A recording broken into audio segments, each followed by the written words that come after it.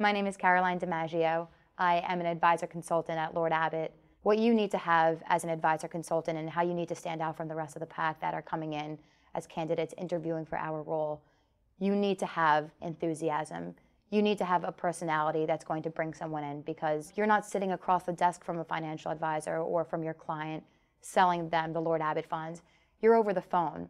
And they say a smile goes a long way. Well, you can hear a smile.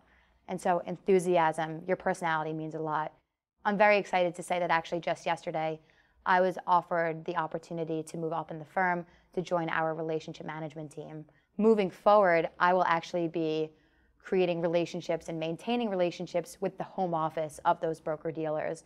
So it's almost the engine that drives not only Lord Abbett and not only those broker dealers, but almost the industry as a whole. And it's really the tip of the spear. And so I'm really very excited to be move, moving forward with that, uh, with that opportunity.